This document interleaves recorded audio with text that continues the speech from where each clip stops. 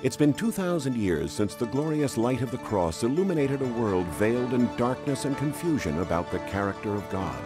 And still today, the greatest need of mankind is a revelation of God's love as revealed in the life of Christ. Amazing Facts presents the Everlasting Gospel with Pastor Doug Batchelor. Coming to you each week from Sacramento Central Church in sunny California. Discover hidden treasures in God's Word today.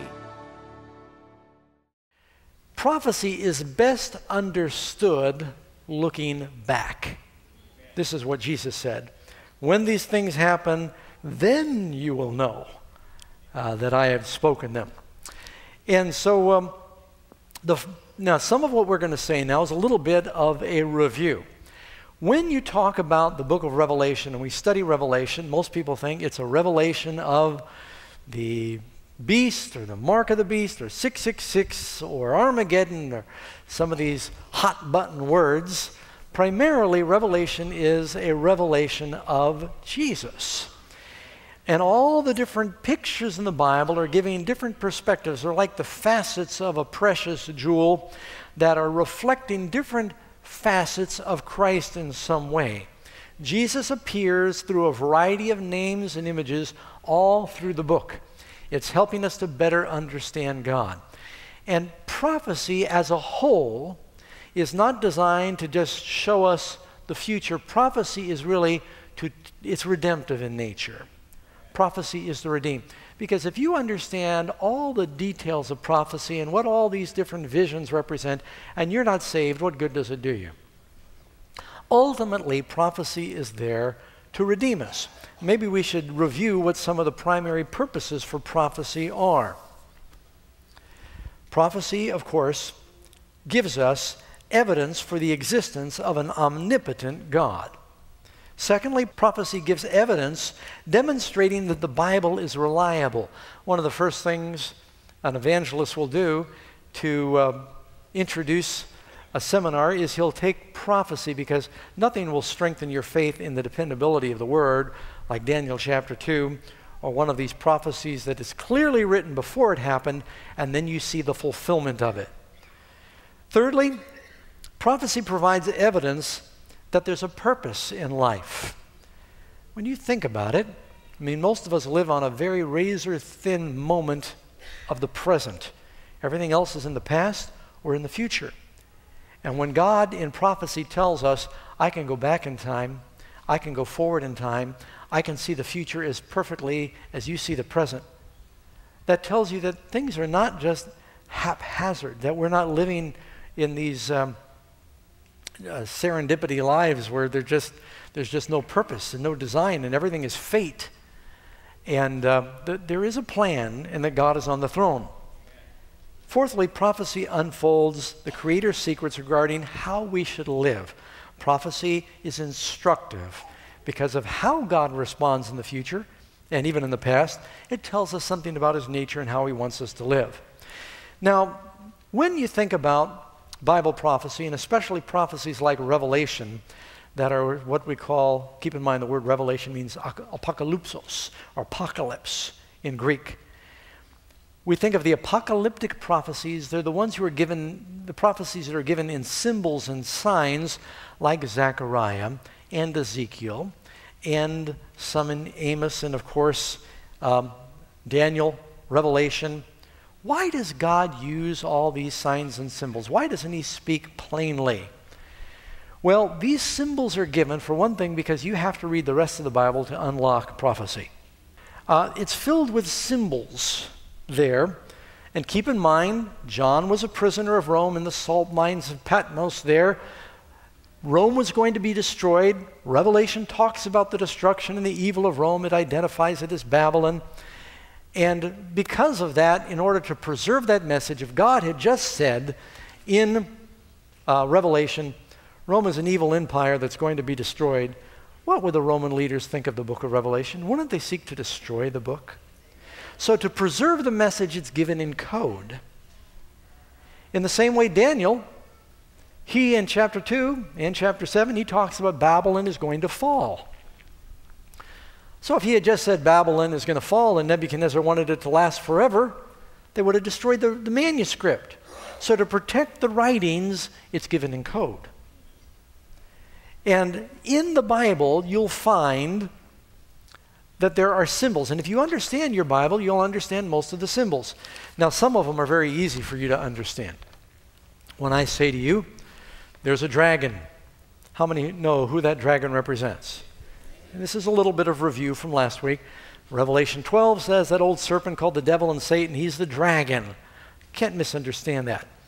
And what it says in the middle of the throne, we'll talk about that today, there's a lamb as it had been slain.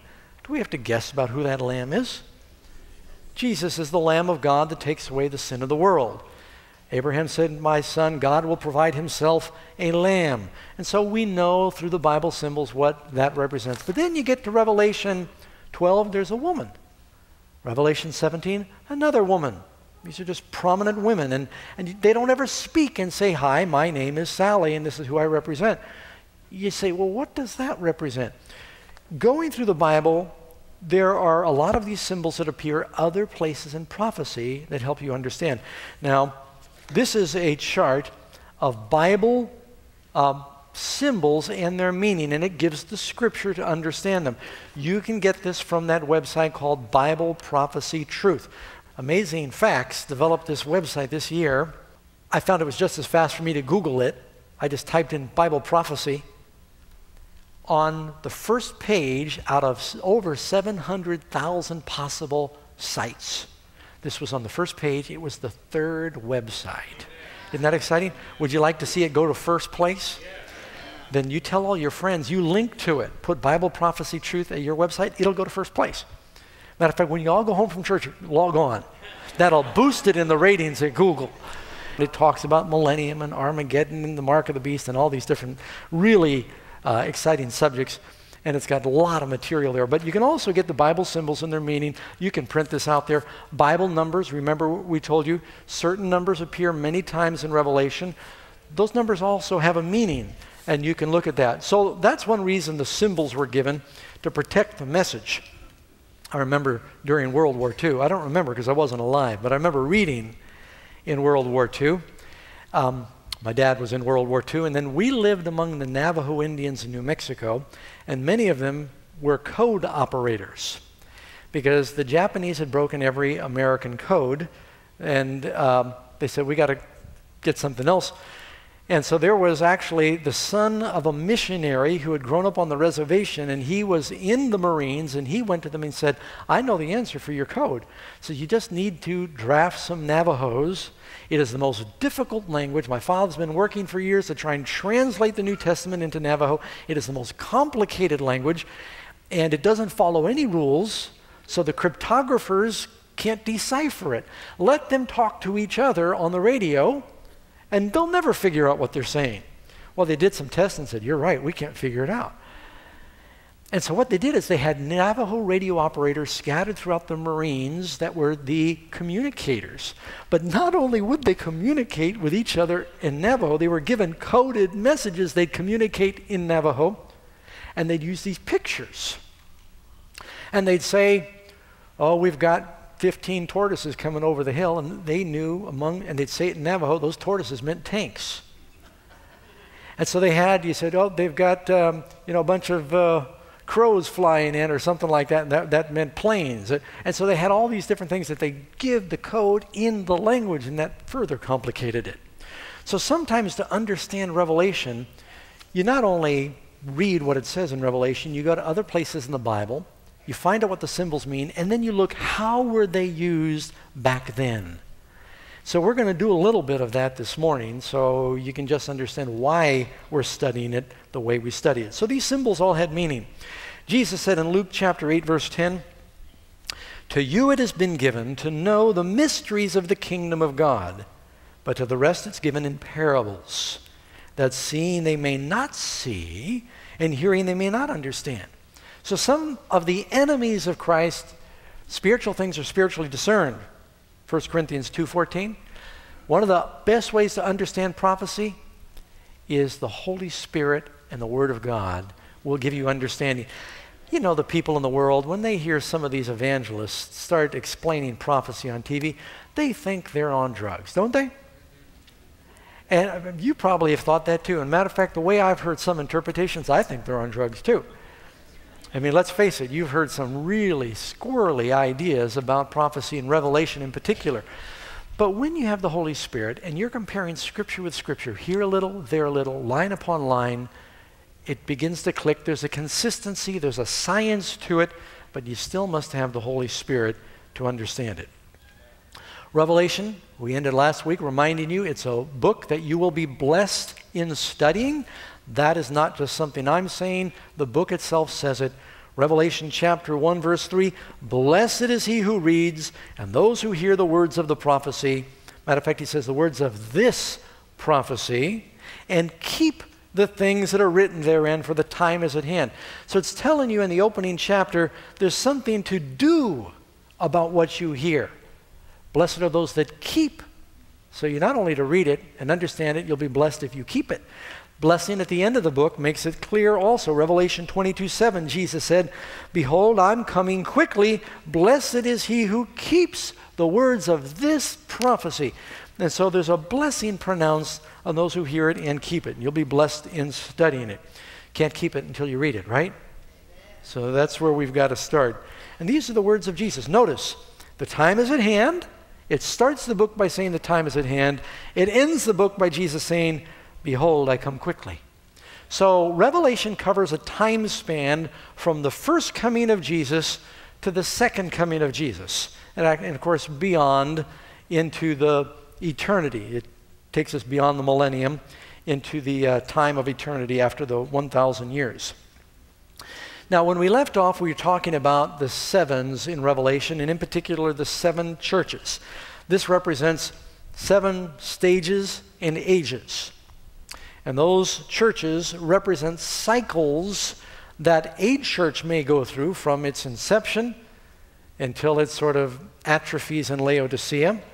It represents an experience an individual may go through.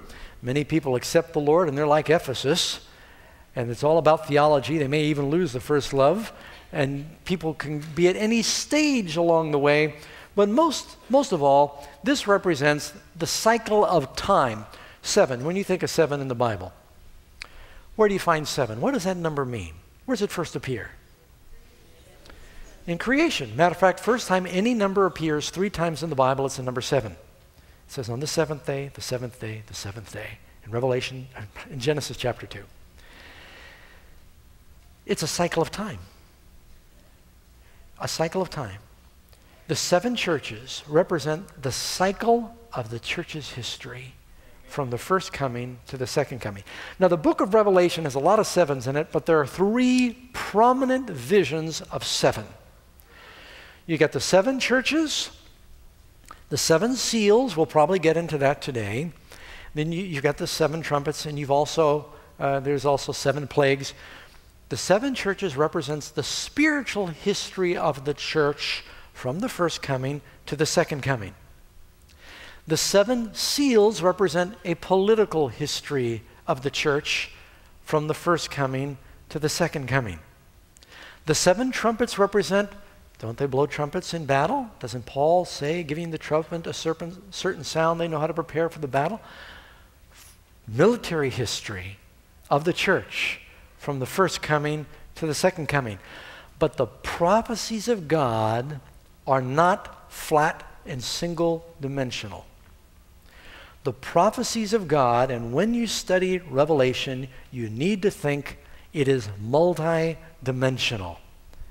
You will find that one prophecy, while it will perfectly give you, for instance, the, like I said, the cycle of the church's history, there's a lot of depth to it. You know, I might speak to you, and I'm just, I've got one meaning in what I say. I'm a mortal. We're kind of, we kind of speak and think uh, on one dimension. We're more linear in when we communicate. God's word is not confined or restricted the way we are in our communication. God can say one thing that is so profound that it is truth, and it does not conflict with the other meanings, but it has multidimensional meanings to it. I always like to go back and take Jesus, for instance. The disciples come to Jesus and ask him a simple question When will these things be? Jesus had just referred to the destruction of the temple. And um, what will be the sign of your coming in the end of the world? Matthew 24. They kind of asked him three questions. He then gives them this incredibly deep and profound answer in Matthew 24. You'll also find in Mark 13, Luke 17, Luke 21. That's where you find his answer, explaining the signs about his return. In that one answer, without carving it up for us, he answered those who were living that day what they were asking what was going to happen to the Jews. He also told the church what they could expect in their history. So every Christian in any age can read Matthew 24 and it was relevant to them that day. He talked about the great time of trouble the Jews would go through just before Jerusalem was destroyed. He talked about a time of trouble the church would go through during the age of Thyatira, a great persecution. And he talked about the great time of trouble before the seven last plagues in the end of the world for those of us living in this generation. One answer, many dimensions to that one answer. Now, how many of you already knew that? Read Revelation realizing that God's word is not restricted the way we think.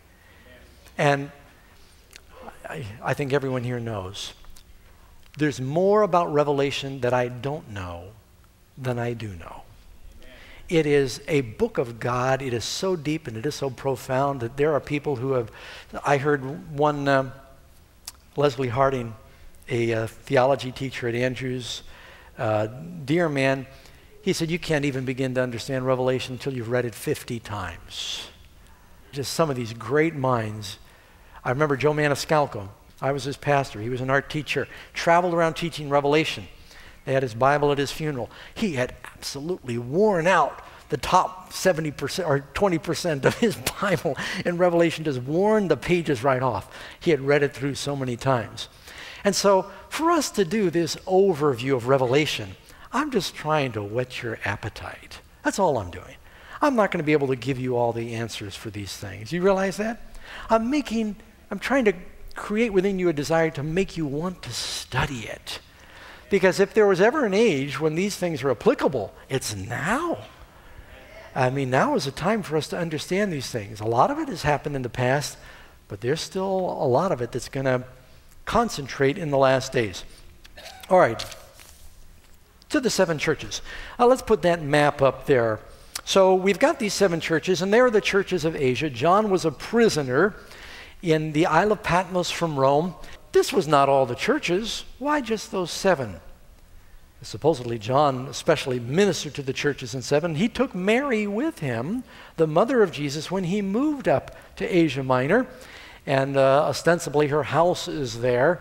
I believe it's in Ephesus.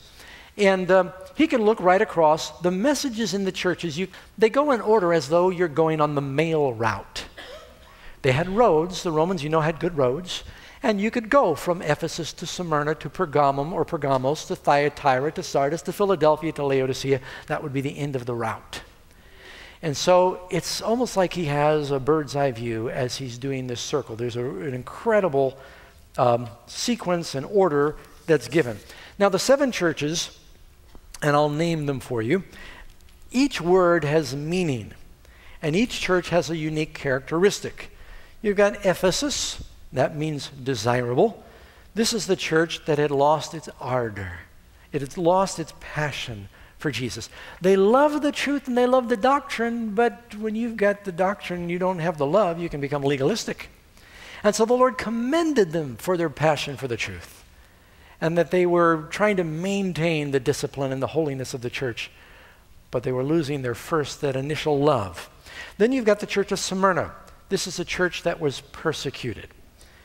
And the word Smyrna, it's related to the word myrrh, which is an incense or fragrance. And it was like their lives were an offering. This was a time of great persecution that the church went through. Then you've got the church of Pergamos or Pergamum, and that was heights or elevation. This was the tolerant church. Thyatira, it means perfume. It was the age of compromise in the church that's synonymous with that woman in Revelation chapter 17, mentions Jezebel in Thyatira. By the way, all the proper names in Revelation are symbolic. That's a pretty sweeping statement, Pastor Doug. all of the proper names in Revelation are symbolic. The numbers have a value that is real. There really were seven ages of the church. There really are 12 foundations in the New Jerusalem. There really are 12 different kinds of fruit. And so, see what I'm saying? When it tells about the size of the New Jerusalem, real numbers, prophetic ages that are given in Revelation, there's a value. That value means something. It's just a, not a nebulous, ethereal number. But the names are spiritual. When it talks about Balaam, and again, I mentioned this, you got to go back in the Old Testament to know what's it talking about, or Jezebel, or it talks about Apollyon, or some of these other things. Then you've got uh, Sardis, Prince of Joy. This was a nominal church, had a name that you live but you are dead. Then you got Philadelphia, the age of brotherly love, the church that was doing evangelism and missionary work everywhere. And the final age of the church, Laodicea, and that means a judged people or the judging of the people. Uh, we are living in that final age of the church. It was the lukewarm church. Had a, you know, figured they were rich and increased with goods, like that man in the parable in uh, Luke, feasting sumptuously on the truth. We've got the truth, Jewish nation, time of Christ. We've got the truth, feasting on it, beggars laying at their gate full of sores, desiring the crumbs. If we're not sharing with those that are lost, then we've got a problem. All right, so that represented the message to the seven churches. Now you transition from God talking about the condition of the church below, then all of a sudden, and go with me in your Bibles to Revelation chapter 4. It's, it's real important that we read this because you're going to run into it and if you haven't already. Verse 1, chapter 4, verse 1. After these things I looked and behold, a door standing open in heaven. And the first voice that I heard was like a trumpet speaking with me, saying, Come up here, and I will show you things that mu- must take place after this. And so he, he goes through the churches and he says, Now I want to show you in a special way things that must take place. A lot of our evangelical friends, not all of them, but a lot of our evangelical friends read this, and when he says, Come up here, they write down next to that rapture. So they take everything from chapter 4 on, and I told you last week that's where it gets the name futurism. They say this is all in the future. Because you don't hear the word church mentioned much until you get down towards the end. That means the church is caught up, it's out of the world. And everything else that's happening in Revelation is happening beyond our time. I think the devil loves for people to think that because Jesus actually says the time is at hand. You're supposed to trace chapter 4 from the time of John on to the time of the second coming, and they take it and they toss it all off into the future just because he said, Come up. Because it says there's a here voice like a trumpet. They said, That's the trumpet of Gabriel. I just the trumpet just means loud there. Trumpets announce things. Trumpets not all equated with the second coming. The voice of the Lord like a trumpet. Trumpets in the Bible had to do with crossing over the Jordan River when Jericho fell. Trumpets had to do with uh, military decisions. So I, I, think it's really a leap in logic to say because he said, Come up and they hear a trumpet, that means that this is now the second coming of Jesus. Everything else that's happening in Revelation is in the future. Another important principle when you study Bible prophecy Bible prophecy is not given in chronological order like you might write down your autobiography. I was born while I was very young, you know, and then you, you go from there. In sequence. This happened this year, and this happened this year, and you do it sequentially. The way that prophecy works, it goes like this. And the Bible's written like this. First, in the beginning, God created the heavens and the earth. So he takes you that far says, now let me back up and tell you what happened when he created. And he goes like this and he takes it a little further. He says, now I'm going to tell you about what happened on the sixth day when Adam couldn't find a wife and he started looking around, the animals weren't going to work. And then he goes back and he says, now let me give you the genealogies of Adam. And he backs up and it overlaps. It keeps going back and it keeps going overlapping. It's not written sequentially. Daniel chapter 2. How many of you sort of understand that covers the history of the kingdoms of the world? And when you get the end of the Daniel chapter 2, that's the end of the book, right? No, he covers the panorama of the world's kingdoms through this one vision. Says, now I'm going to show you the same time period, but I'm going to use another vision. I'm going to go around this side, and now we're going to talk about a goat and a ram, and then we're going to go over here. We're going to talk about a lion and a leopard and a bear, and backing up and covering a lot of the same territory in layers so there's no question about what it's saying. And let's face it, some of us like to think about it in the metals. We're, you know, we're tangible. We like the minerals. We like Daniel chapter 2. Some of us, we like animals. We like to think about the lion and the bear. God gives it all in different pictures so that if you don't get it one time around, you might get it another time around. And so it appeals to everybody. And so when you're reading through Revelation, it is not written sequentially. So my heart breaks for these dear people that get to chapter 4 and say, that's all in the future. I don't know what's going to happen. And they can't, they're missing so much. I'd like to study Revelation 17 with those people because you can't read that without saying, wow. Or Revelation 12. It fits perfectly with history. How can they miss it? Much of it past history. And so a lot of dear people say, come up. All he's doing, he said, look, I've shown you things that are relating on earth. Now I'm going to take you off into heaven, and I'm going to give you a vision of how heaven is dealing with what's happening with the church on earth. And all of a sudden, he's brought into this throne view in heaven. I looked, and behold, a door standing open. He says, I'll show you things that must come. And I was in the Spirit, and I beheld a throne set in heaven. And one sat on the throne. Why is he in the Spirit? Because God's a Spirit. And angels are ministering spirits. He's surrounded with spiritual things, so he has to be in the Spirit. So before he's on the Isle of Patmos and he's kind of looking across the Aegean Sea, and God is showing him this vision of Jesus among his churches on earth. Now he's showing him Jesus interceding in heaven. And so that's all that's meant there. And it tells us, I saw a throne. And one sat on the throne, and he that sat was like jasper and sardius in appearance, and a rainbow around his throne. He begins to describe God the Father on his throne, and God the Son is described in the same chapter. You go to Daniel, there's only a couple places in the Bible you find God the Father and the Son, and it talks about two thrones. Daniel chapter 7 has that in that great judgment scene. I saw the Ancient of Days, and one like the Son of Man was brought before him. Who's the Son of Man? Jesus. Then who's the Ancient of Days? Must be God the Father. So here you've got this picture of these thrones in heaven. And then it talks about around the throne of God, you've got these creatures. You've got these four beasts around the throne of God in, um, in Revelation chapter 4. Um, Revelation chapter 4, it says, And the first beast was like a lion, the second beast was like a calf, the third had the face of a man, the fourth was flying like an eagle. Now, you know, that's exactly like what you're going to find in Ezekiel chapter 1, verse 10. To understand Revelation, you got to go back. Ezekiel 1, verse 10. The likeness of their faces, for they had four faces of a man, the face of a lion, the, they had the four, they had the face of an ox, the face of an eagle. So there's a consistency here. Ezekiel makes it sound like there's four creatures and each one has four faces.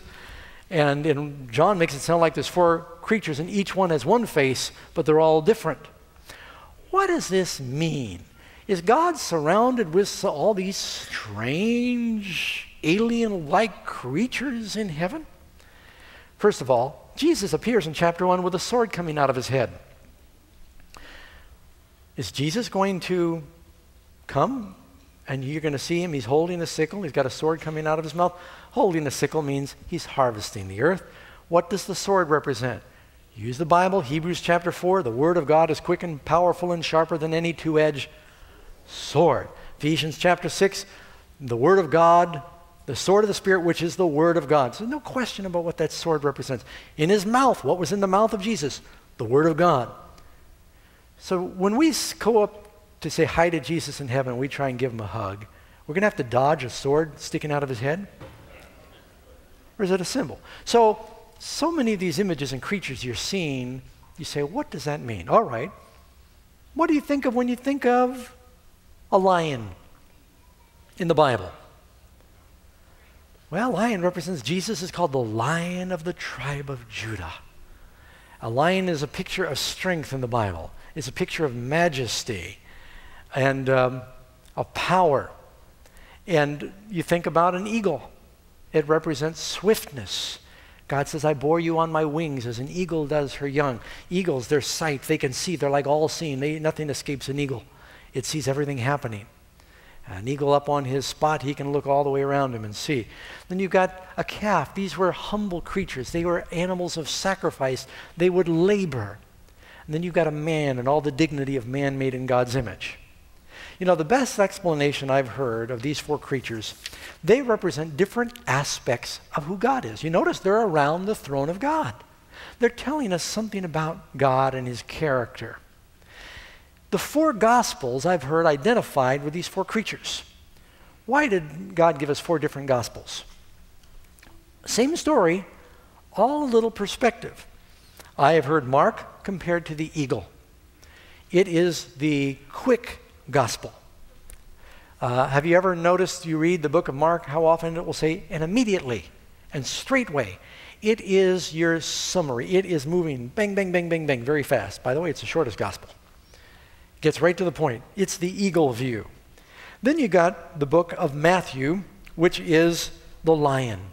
In the book of Matthew, Jesus is shown to be the Messiah, the King, the lion of the tribe of Judah. All through the book, it's referring back to the prophecies that prove Jesus was the king. In the book of Luke, what was Luke's occupation? He's a doctor. Jesus is portrayed as the Son of Man, and he often uh, has a more human perspective in Luke. And then in John, Jesus is shown to be the great sacrifice, the Lamb of God or the calf. And so each one of them is giving these different perspectives. Now, I don't know if you've ever heard this before, but um, it goes all the way back to Aristotle that people are divided up into four primary char- character, characteristics. And, and most uh, psychologists um, really agree with this principle. You've probably heard it before melancholy, sanguine, phlegmatic, and choleric. Now, it doesn't matter what word you use, and I'm not, there's nothing sacred about those terms. People typically are divided among four major category personality groups that can have different breakup. And some are kind of a mixing of all of those things. But we've all known people that have these different emphasis in their character. Who's going to live in the New Jerusalem? Church. Church is composed of how many apostles were there? Twelve. How many gates on each wall? Each wall has three gates, 12 total, right. And it's kind of telling us that we're all sort of a composite. On the breastplate of the high priest, Jesus appears as the high priest in Revelation 1. There were 12 stones, and were they all the same? Were three of them the same? You weren't so sure. No two of them are the same. Are they all precious? They are. They're all different. God's church, He's not a cookie cutter up in the sky where all of you have to act exactly the same. We all have a little different personality and different gifts that all must be sanctified by Christ. You know how many different combinations you can get when you've got 12 times 12? 144.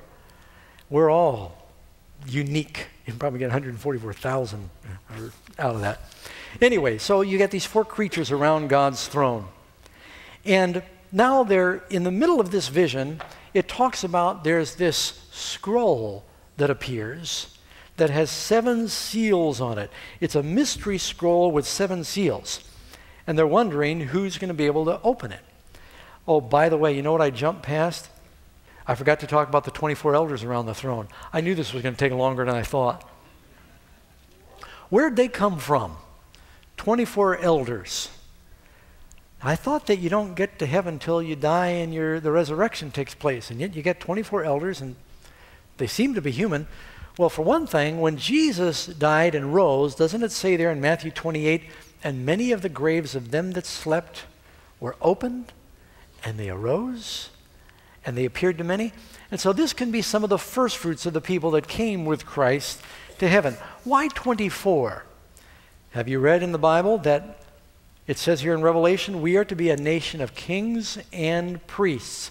By the way, Please remember this to understand Revelation, a lot of it is written in the context of the great Exodus. The Exodus was the history of the Israelites, it was the backdrop for everything they believed in, that God had called them his chosen people. The whole Exodus experience, God in their midst, the Ten Commandments, the covenant, the deliverance from slavery. It's all salvation, isn't it? Well, God says He called them in Exodus to be a nation of kings and priests. And by the way, the ten plagues that fell on the Egyptians, you find seven plagues that are very similar in Revelation. Knowing Exodus is going to help you understand uh, Revelation. There's a lot of similarity.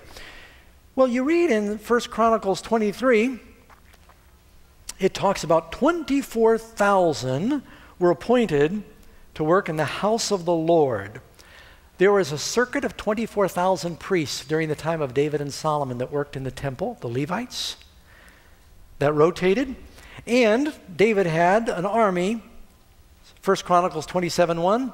The divisions came in and went out month by month throughout each divi- division, having 24,000. So you've got 24,000 among the priests and 24,000 among the officers and the military. Priests and kings. By the way, Jesus appears in Revelation as a king and a priest. Can you think of another king priest in the Bible? Melchizedek. It says there's this king and this priest. He appears out of nowhere and he disappears. Doesn't tell when he's born, who his people are, doesn't tell when he died and where he went or where he's buried.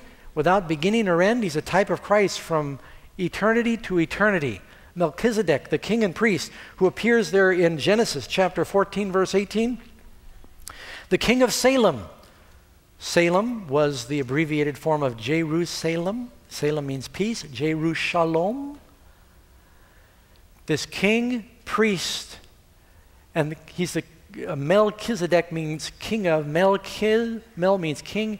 Dizek, righteousness, king of righteousness, who was the priest and the king, king priest of the Most High God, whom Abraham even gave tithe to. And it says he brought out bread and wine. What does Jesus do at the Last Supper? Our king priest makes a covenant with us. What are the emblems of the covenant? Bread and wine. that grape juice in that bread.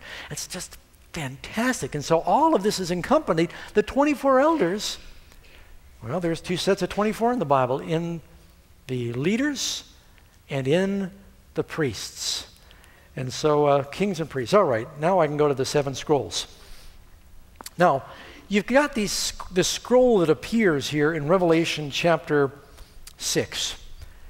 And there's a lot of concern because it's in the right hand, right hand in the Bible, a symbol of favor, but nobody is found worthy to open the scroll. And so there's a great consternation in John. It says he wept much. This is he. You ever just been dreaming, all of a sudden something happens in your dream, you can't even understand why, but you're overcome with a sadness, a profound sadness in your dream. And I, have woke up before when I just got this tremendous sense of sadness. I almost felt like sobbing. And John just realized if this scroll cannot be opened, the world is doomed.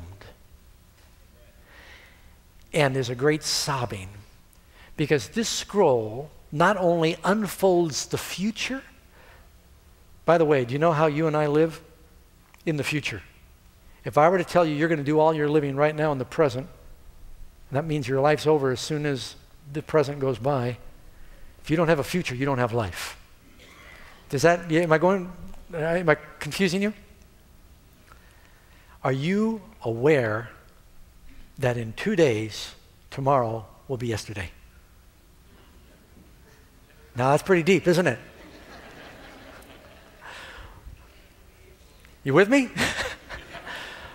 this scroll is a scroll of prophecy. Prophecy is about the future. It's about life. It's about eternal life. And if God can't open this, if no one can open this, we have no future. Some have compared it with the book of life, but to be more accurate, it's really about prophecy. You read in Isaiah 29 about another scroll that can't be opened. If you want to understand Revelation, the rules are can't make up your interpretations. I've heard some preachers, they just say, I think it means this. And you think, where did he get that? Because that's how we felt that day. That's not fair. You can't do that. We'll all have different interpretations. They're called private interpretations, they're deadly. Let the Bible interpret itself. Find another scroll in the Bible that's sealed, and you, you, you'll start to get the clues. Isaiah 29 11 and 12. The whole vision has become to you like the words of a book that is sealed. He's talking about a vision, a prophecy, which men deliver to one who's literate. This person can read, and they say, Read this, please. He says, I can't because it's sealed. Well, there's one person, he says, I won't read it because it's sealed. Then they'd go to another guy who's illiterate and say, Please read this. He says, Why are you asking me? I can't even read. So here they're making all these excuses for saying, We can't, we have no power to open this sealed book. You either can't read or it's sealed. So we need someone else to open it. By the way, you read in Daniel 12, verse 4, if you want to know what this book is, let the Bible interpret itself. But you, Daniel, shut up the words and seal the book until the time of the end. Now, what does that mean? Seal it till the time of the end. Doesn't that say that at the time of the end it won't be sealed? At some point it's going to be open. When? The time of the end, it's no longer sealed. Until the time of the end, it is sealed. And by the way, more of revelation has come to understanding during the last age of the church, at the time of the end, than any other time in history. Great knowledge. Prophecy is best understood looking back. And a lot of it's behind us, and so it's been unsealed to a great extent. And so this is also unsealing our future. Revelation 22:10, he said, "Do not seal the words of the prophecy of this book." So it's talking about the book of Revelation is about to be opened. That's what's sealed with those seven seals. The truth is about to be revealed about salvation, about God, about the battle between good and evil. Amos chapter 3, verse 7 Surely the Lord God does nothing unless he reveals his secret to his servants and prophets. So through John the prophet, he's revealing his secrets to us. And so then they say, Do not weep, John, for there's one who can open the book. Now I want you to go with me to Revelation chapter 6. And here it, it, it tells us about what he sees. I'm actually in Revelation chapter 5. Uh, 5. He said, Don't weep. Verse 5 one of the elders said, Do not weep. Behold, the lion of the tribe of Judah. Do we know what that lion represents? The root of David. He has prevailed to open the scroll. Prevailed. Why prevailed? Means there was a struggle. He struggled with the devil he has the right, he lived that sinless life, to loose its seven seals. And I looked and behold, by the way, this is why this sermon takes so long. I keep saying incidentally. By the way, do you know there was a sealed scroll that was given to a man that had his own death sentence in it? Uriah was handed by David a message given to Joab that contained the death sentence of Uriah, even though he was innocent. He had to die to cover the sin of others. And he delivered his own death sentence in a sealed scroll. Jesus, that lamb that was slain, is the only one that had a right to open that scroll. Because for you and I to understand these things, for us to have a future, for us to know the vision, he had to die to give us this information. Does that sort of make sense? to you? Spiritual things are spiritually understood. It made sense to me. I looked, and behold, in the midst of the throne and of the four living creatures, and in the midst of the elders, stood a lamb as though it had been slain. It stands, but it had been slain. When Jesus rose, did he bear scars that he had been slain? Yes, but he stood.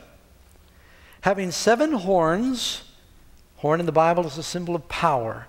If you were a shepherd, when they anointed a priest, they poured the oil out of a horn. It meant the power of the Spirit. These nations, these kingdoms were represented as horns in uh, Daniel chapter 8. So he's got the seven horns, he's got seven eyes. That represents knowledge, knowing, which are the seven spirits of God.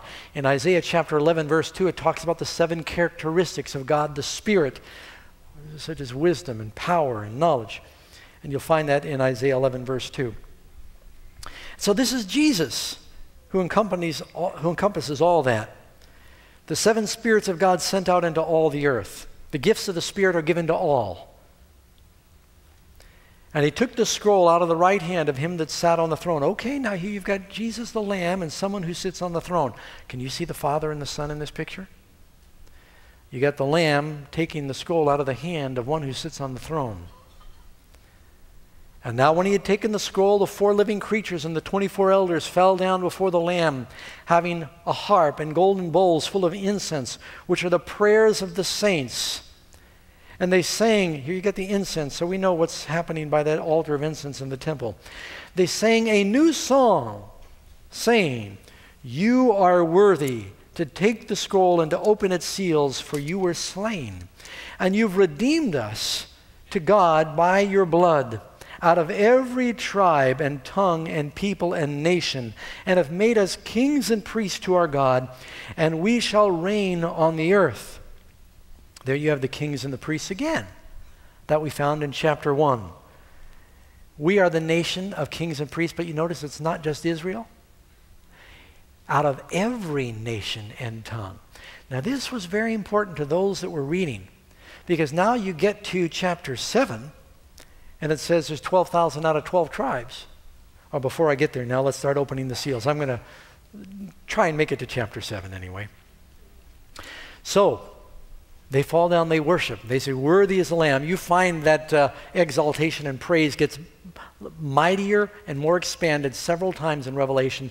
The praise and the worship songs become greater crescendos than the one before. Finally, they open the seals. Now I saw chapter 6, verse 1 the Lamb opened one of the seals. And I heard one of the four living creatures say with me, Come and see. So when the seals are open, he sees, he understands. It's a revelation, is what's being given in these seals. And he said, He opened, behold, a white horse. And one who sat on it had a bow. And a crown was given him. And he went out conquering and to conquer.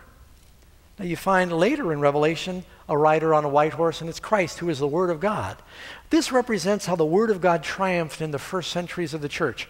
There's a parallel between the seven seals and the seven churches. One is giving spiritual history, one is giving the political history. Again, a summary I want you to study. Three, he opened the next seal. Now you get the four horsemen of the apocalypse. Here we go. By the way, this is a picture by Joe Maniscalco that I was telling you about, who worn out Revelation in his Bible. Uh, and, you know, this is an artist's conception. I don't know if it's exactly what John saw, probably not, but it gives you something to look at. So then the next one you've got is this um, red horse. And he said to him, Take peace from the earth, that they should kill one another. And there was given him a sword. So then you've got this age of great persecution that comes to the church. The third seal he opens, he says, Come and see this black horse. Got a pair of scales in his hand.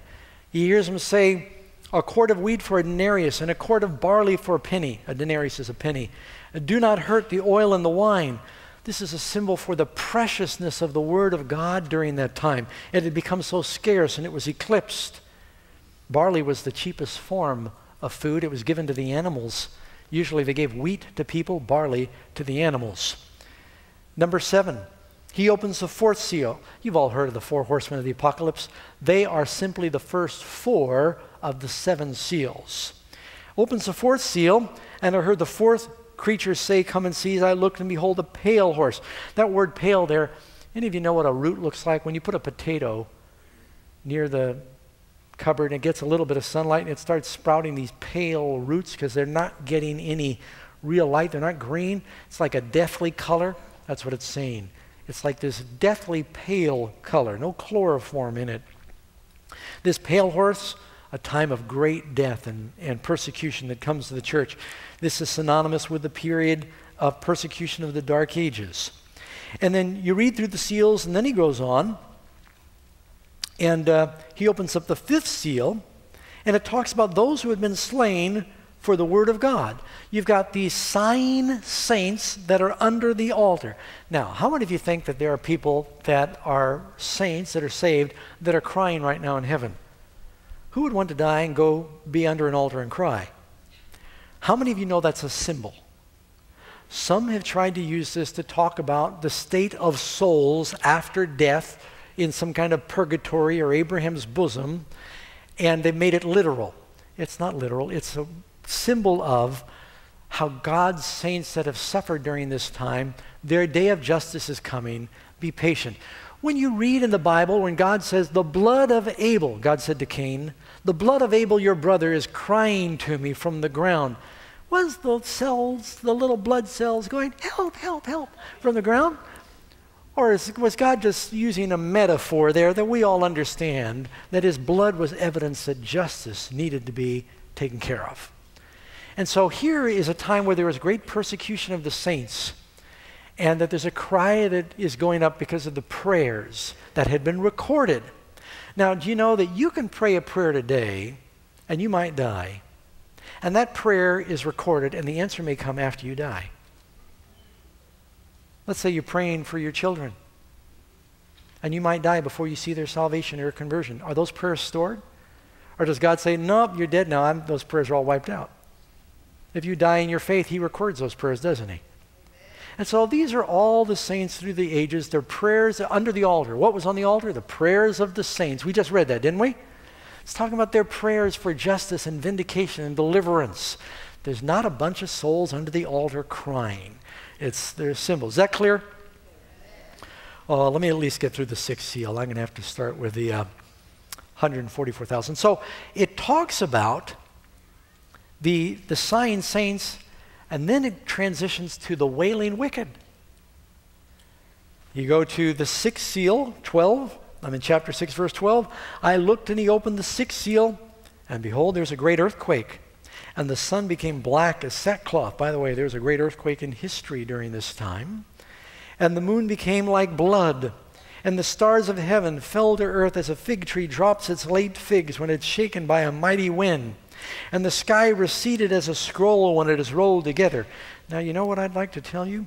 We're living historically between verse 13 and 14. A lot of these things have happened historically. The great earthquakes, a dark day, the moon looking like blood, the stars appearing to fall from heaven. Along the continuum of history, these things have happened where God's people, His church, prominently could see this. But ultimately, when Jesus comes, the sky will recede as a scroll. These things are going to happen again in quick succession at the second coming. And every mountain and island is moved out of its place. The way things are happening with uh, earthquakes right now, you wonder. And here's the wailing of the wicked. And the kings of the earth, and the great men, by the world's standard, and the rich men, and the commanders, and the mighty men, the people who have the power down here, in other words, that are persecuting God and every slave man and every free man hid themselves in the caves and the rocks of the mountains. Are these the saved or the lost hiding?